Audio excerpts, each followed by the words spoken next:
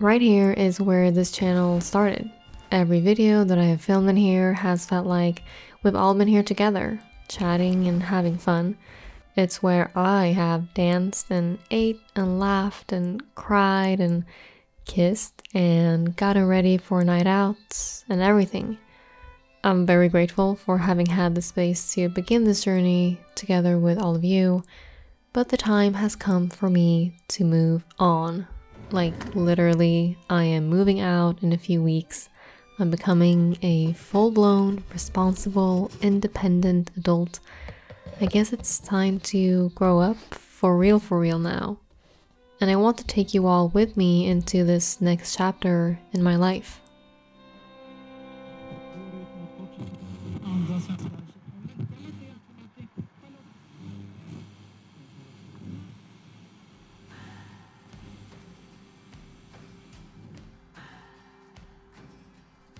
I'm pretty used to packing up my life. When I was in the US, I lived in three different places. I also moved away for university here in Sweden, so I would say I've got a pretty good hang on the whole packing up your life and going somewhere new. But regardless of where I've been, this has always been my home home, the place that I've come back to. And now, for the first time in my life, my home home is going to be somewhere else. And that is one of the most exciting things I've ever gone through. It's also a bit scary and emotional, and honestly, pretty much every emotion that you can think of. I think a lot of people experience these feelings whenever going through any transitional period in their life, whether that is moving or starting or losing a job, getting in or out of a relationship, going away or coming home from university, and so on.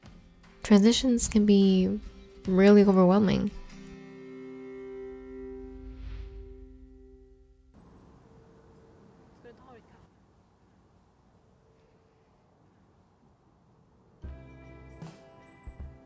And you know when you just want something to happen so bad, and then when you finally get to smell it and taste it, it's a strange feeling because it might either be everything that you had built up in your head, or it might be none of it, or it might just be different, not necessarily good or bad, just different.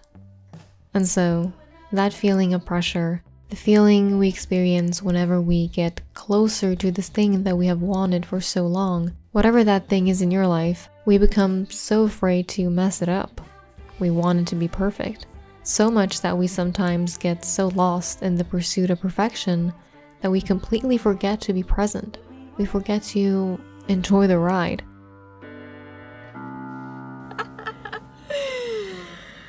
okay, so uh, I'm just hopping around interior stores, um, trying to find well, the main thing I'm trying to find is a couch and a living room table.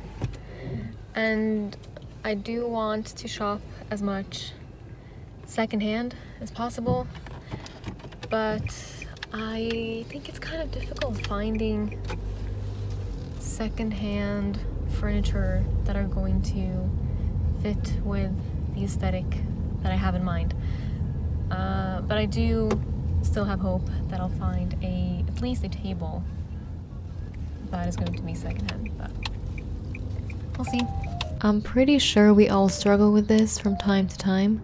I, for one, know how good I am at constantly thinking about the next thing and the next thing, and it isn't exactly a very useful skill to have. And what's worse, when that next thing arrives, whatever it is, we don't know how to enjoy it because now there is a new next thing. When you get so caught up in what lies ahead, you sort of forget that life is right now too.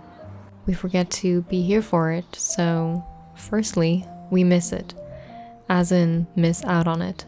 And then we end up missing it, as in what has passed.